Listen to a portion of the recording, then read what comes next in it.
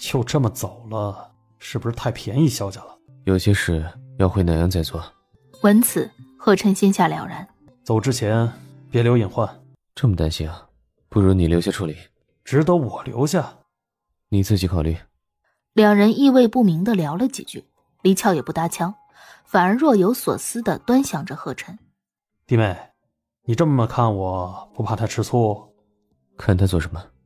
没什么，就是觉得琛哥今天有一句话，说的特别对。哪一句话？黎俏掸了下指尖，唇边的笑透着几分嘲弄。你妈失心疯了。贺琛讽刺萧夫人的这句话，堪称至理名言。晚六点，洋房客厅里热闹非凡，多日不见的席罗、顾晨和丰毅也来了。众人齐聚一堂，气氛相当和谐。唯独一点不好，洋房客厅无缘无故的开始禁烟了。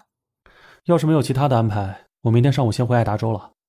嗯，顾晨感觉自己被冷落了，他悻悻的撇嘴，便扭头寻找黄翠英的身影。翠英啊！远处正在打电话的落雨无语了。突然，手机震动了两声，顾晨掏出一看，以为眼花了，放下酒杯，又仔细数了一遍，才敢确定千木集团的账户进账十个亿。哪位大佬转错账了？千木集团的备用金不够，再和我说。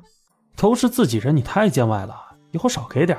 刚走过来的落雨一言难尽的瞅着顾晨：“你出来干什么？”想打架？打不打？来，打就打，爷奉陪。然后，顾晨和骆雨跑到医学联盟停车场打架去了。另一边，商玉和丰毅以及贺琛三兄弟坐在吧台边浅酌闲聊。